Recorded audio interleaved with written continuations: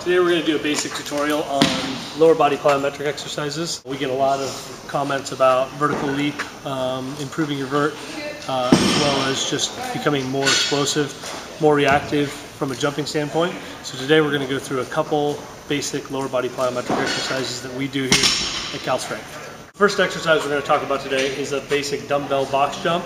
What we're going to try and do is obviously create power from the ground um, without pulling up on the arms at all. So we don't want to de-weight the legs. We want all the weight to be focused uh, on the legs. So we're just going to keep a nice vertical posture.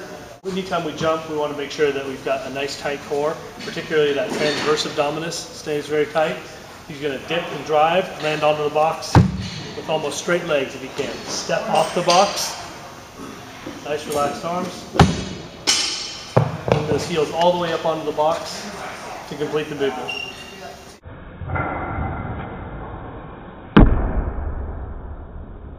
So this is an example of uh, concentric plyometric exercises. The, the loading here, we're using dumbbells. You can also use uh, vest, obviously, and you can also increase the uh, stress by increasing the height of the box. So a couple different ways to, to make it more challenging. Second exercise we'll talk about today is a seated box jump. So the same thing as any kind of standing box jump, only we're, we're just using um, a different position. It makes it a little more intimidating for the athlete, number one.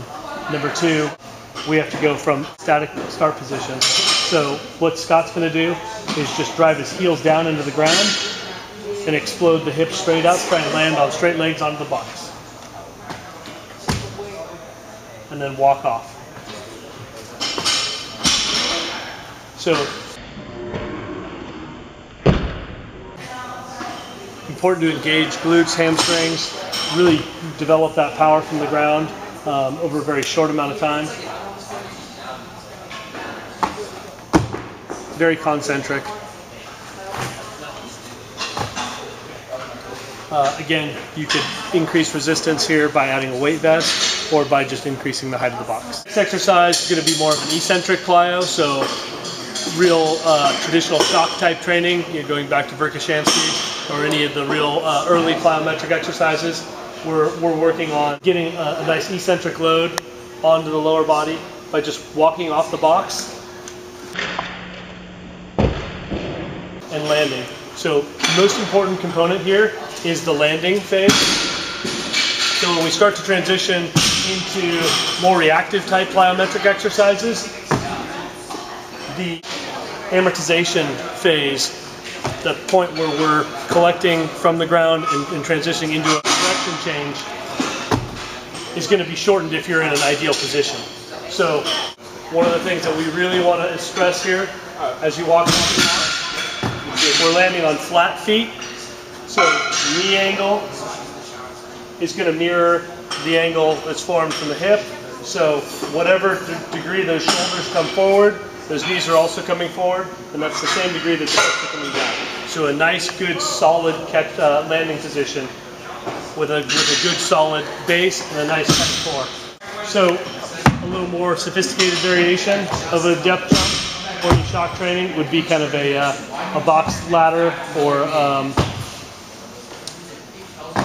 a box gauntlet here where we're landing in that good position and then driving up out of it into, uh, into a concentric plyo. So the amortization or coupling time here is going to be artificially delayed. So he's going to maintain that good position and then from a static start, boom, explode up out of it. And then as we start to improve, we can, we can shorten the coupling time or shorten the amortization time.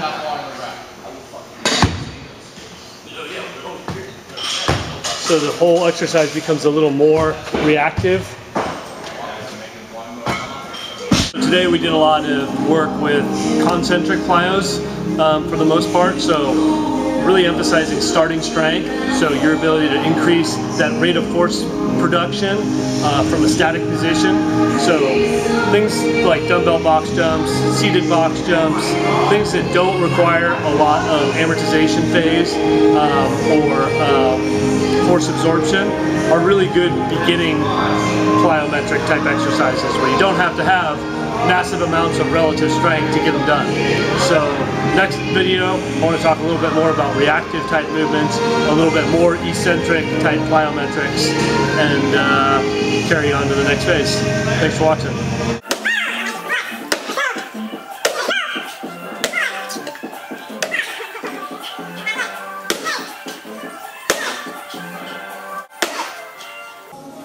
Oh, get up there. Oh, one more. A lot into this one. Let's go. Yeah. Yeah. Another variation would be uh, on a Bosu ball. So coming down to do a push-up on a Bosu ball, exploding up off of it, bring the ball to your chest.